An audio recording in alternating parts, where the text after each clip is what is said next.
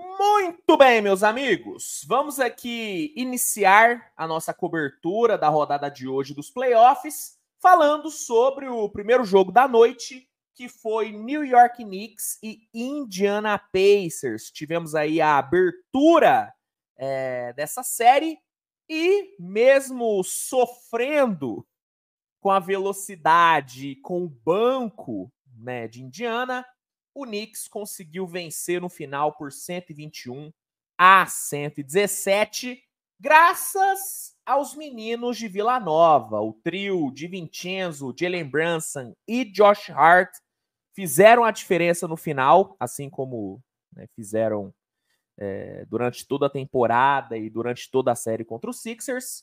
E o Knicks conseguiu abrir a série vencendo dentro do Madison Square Garden. Nesse vídeo, vou falar sobre o jogo, contar a história do jogo para vocês, mas antes, peço para que você deixe seu like, que é muito importante, e se não for inscrito, se inscreva para não perder nenhum vídeo novo, tá bom? Vamos lá, meus amigos. É, o Knicks começou o jogo bem, tá? Começou bem o primeiro quarto. É, o Jalen Brunson iniciou marcando 10 dos primeiros 12 pontos do time na partida, conseguiu colocar o Knicks ali é, alguns pontos na frente. E depois de sete pontos seguidos do Josh Hart, o Knicks conseguiu dar ali uma, uma, uma boa é, desgarrada. O Pacers conseguiu fechar bem o primeiro quarto, conseguiu ali botar uma pressão, conseguiu é, aumentar um pouquinho ali o ritmo.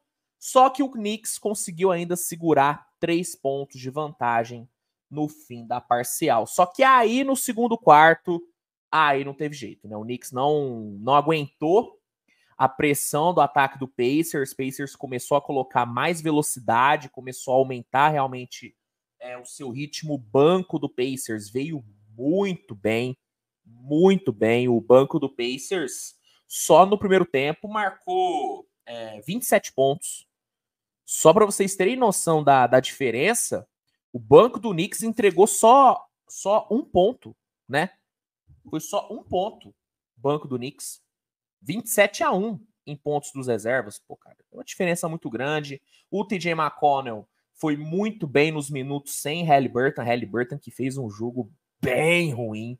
Bem ruim. TJ McConnell é, é, foi bem, substituiu bem o Halliburton.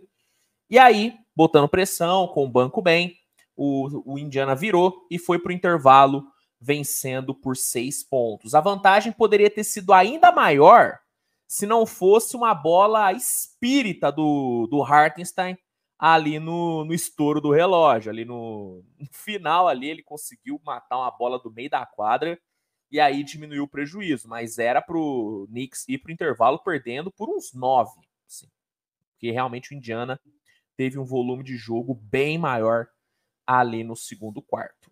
É, o Knicks veio bem no intervalo e depois de boas posses defensivas que geraram bons contra-ataques, o time conseguiu empatar ali nos primeiros quatro minutos do, do terceiro quarto. Aos seis, o Knicks virou ali com o Di Vincenzo, que foi extremamente produtivo no terceiro quarto. Di Vincenzo meteu 15 pontos no terceiro período, foi muito bem.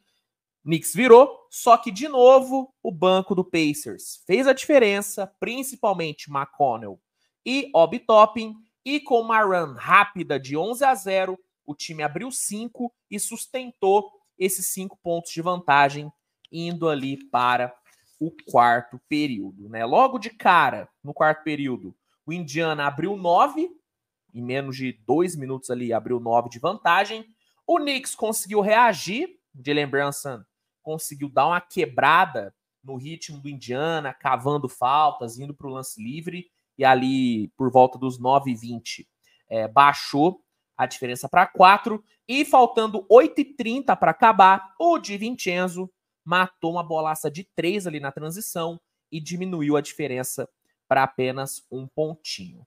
O Pacers conseguiu voltar a desgarrar só que entrando nos cinco minutos finais, o Knicks empatou é, depois ali do, do Leão, Josh Hart, pegar mais um rebote ofensivo e finalizar ali a bandeja.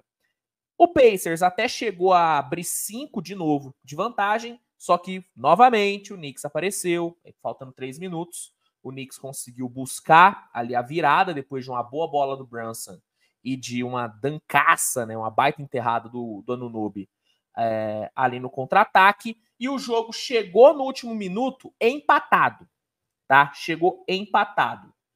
Faltando 39 segundos, o Di Vincenzo matou mais uma de três e colocou o Knicks três pontos na frente.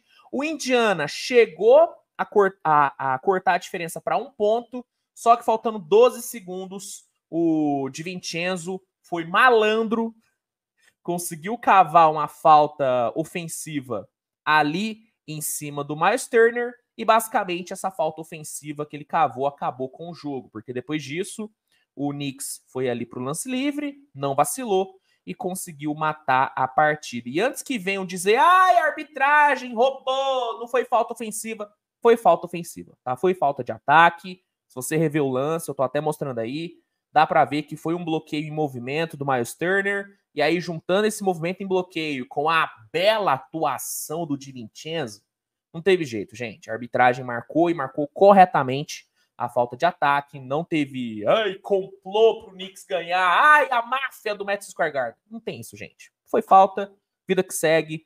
Knicks ganhou, abriu 1 a 0 e, e começa bem a série.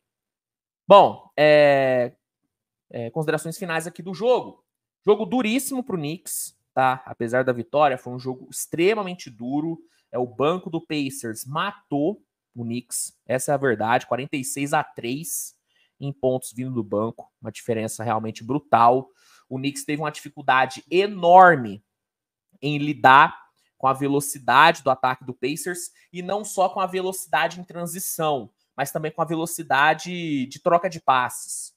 Eu percebi o Knicks meio realmente meio perdido em algumas trocas defensivas, né, não entendendo muito bem as movimentações do Pacers. Knicks sofreu, cara. Não foi um bom jogo defensivo por parte do Knicks. Teve bons momentos, sim, teve boas posses defensivas durante o jogo, mas no geral o Knicks não soube lidar bem com, com o ataque do Pacers, cara. O Pacers teve uma, uma bela janela de vitória aí, viu?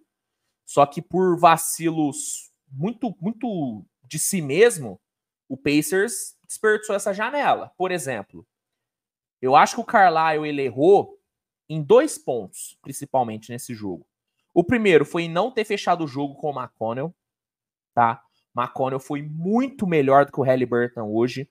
E toda vez que ele jogou, toda vez que ele entrou em quadra, o Indiana foi melhor do que o Knicks. O time jogou melhor, o time fluiu melhor com o McConnell do que com o Halliburton. Eu acho que o Carlisle tinha que ter fechado o jogo com o McConnell, mas eu entendo, ah, é difícil não fechar o jogo com o seu franchise player, ok.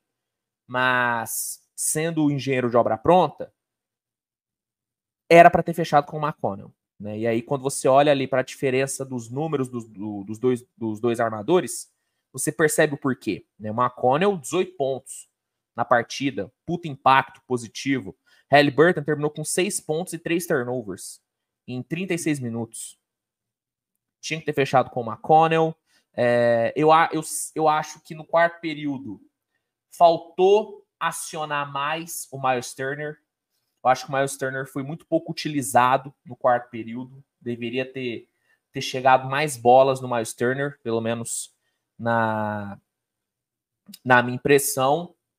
E eu acho que o Obi Toppin deveria ter tido mais minutos. Eu acho que ele deveria ter tido mais minutos, cara. É, o Nesmith também. O cara até ver aqui, ó. Puxar aqui rapidinho. Deixa eu ver aqui. É, ó. O Halliburton teve um plus-minus de menos 12. O Jay McConnell teve de mais 9 entendeu? Uma diferença grande. E o e o, o, o Bob Topping teve um plus-minus de mais 4 e em 19 minutos foram 12 pontos, 6 rebotes, sabe? Eu acho que esses dois deveriam ter tido mais minutos, deveria ter fechado com o McConnell. O Nesmith, eu, eu, eu, tava com a impressão de que ele tinha jogado menos do que do que jogou. Ele jogou 31 minutos, então não teve uma minutagem baixa. Mas, sei lá, eu acho que ele foi pouco utilizado também, o Nesmith.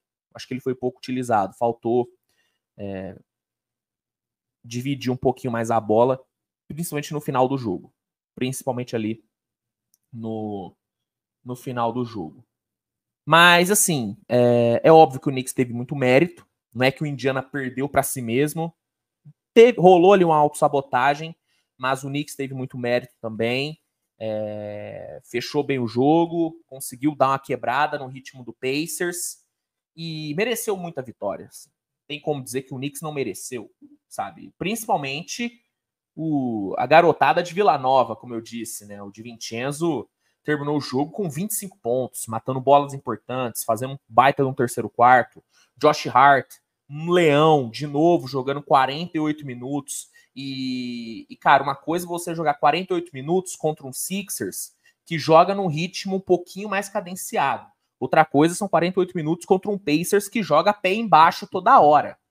Então, entendeu? Então, é, essa, essa disposição física do Josh Hart é uma coisa impressionante. E o que ele fez hoje nos rebotes foi de, de, de crucial importância para a vitória. 13 rebotes, sendo quatro ofensivos, sabe? Muita entrega e ainda meteu 24 pontos e 8 assistências. Um jogo excelente do Josh Hart.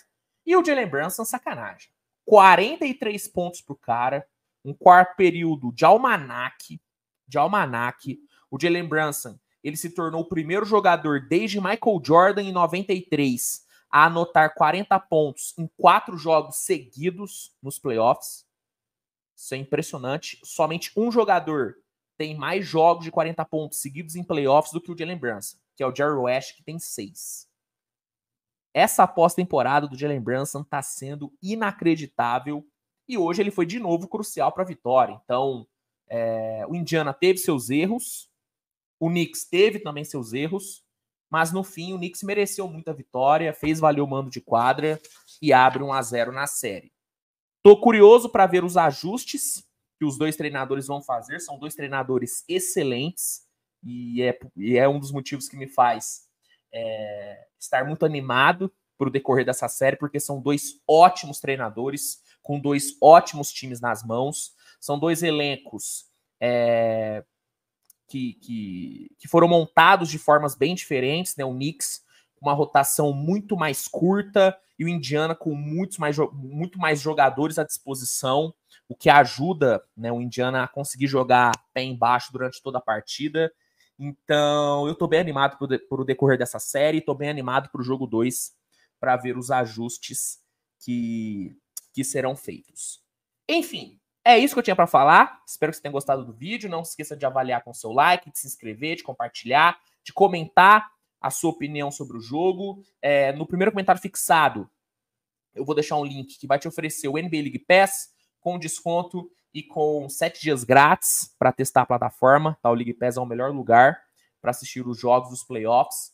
Então, você que não tem, vale a pena assinar, use o link e garanta todos esses benefícios. E é isso, meus amigos. Um grande abraço, tamo junto e tchau, tchau.